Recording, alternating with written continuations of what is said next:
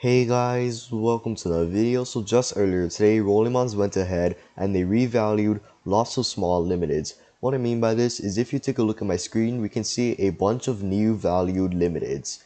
Um, and these are all small limiteds, um, ranging from the big head all the way to the rubber ducky. And these are all small limiteds and they have been valued, valued. And some of these limiteds have been valued back in the past uh, but then they're devalued and then they just got revalued again. So I don't know how good these limiteds will do. Um, but to anybody who has any of these items, you guys are pretty lucky because this was kind of unexpected and they all just got valued sometime earlier today. It kind of came out of nowhere.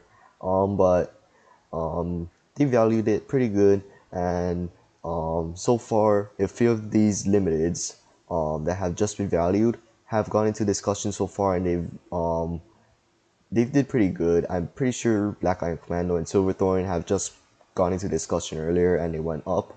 So I'm not sure if we might be getting any more valued limiteds. Um, but this is nice to see.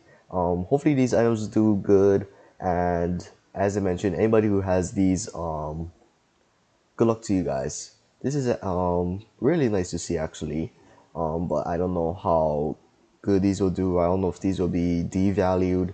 Like uh, as I mentioned, some of these, if we take a look at Diamond Crystal Circlet, we can see that it's gotten value a few times. It got valued and devalued. Um, same thing here, but I, I just hope these items do good. And I only made this video because it's kind of interesting to see that these small limiteds have just been revalued.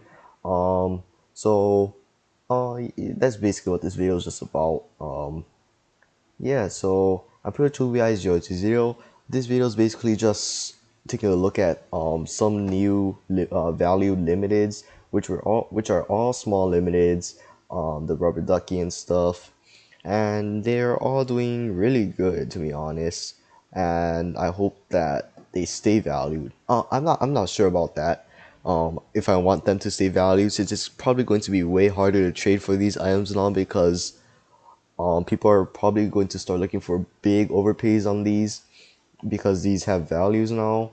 And most of these items um, people really want big overpays on anyways like the black iron antlers. People want so much even before this item's valued so i don't know how much people are asking for these items now.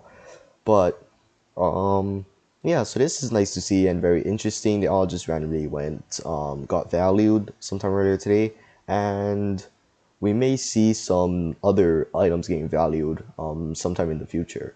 But yeah so I will be is I will be as your video. Um this video is pretty much nothing but I just decided to make it out of uh, make this video out of curiosity and interest because yeah as I mentioned this was kind of interesting to see.